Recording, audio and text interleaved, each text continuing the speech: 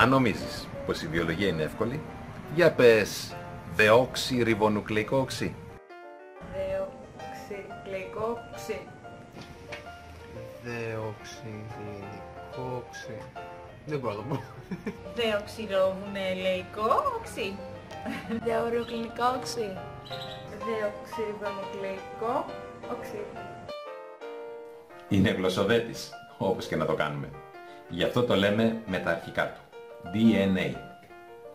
Γεια σας, είμαι ο Μιχάλης Χαλικιόπουλος και είμαι καθηγητής βιολογίας.